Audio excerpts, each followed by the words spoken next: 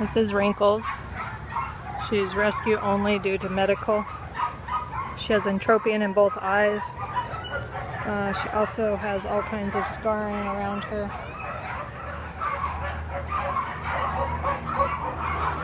Um, she's been really quiet. I haven't heard her bark yet, and she did not react to any of the dogs yet that I've seen in the next play yard.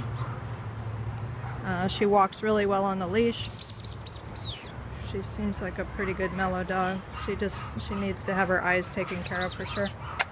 Wrinkles, come here. Come here, let's see. Hi. Came in with that big harness on her, not even on right, so she's probably relieved to have it off. because It was on her sideways.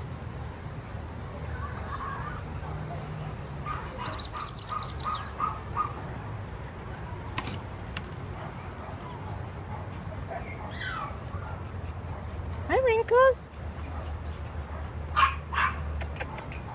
Come here. She's pretty plump.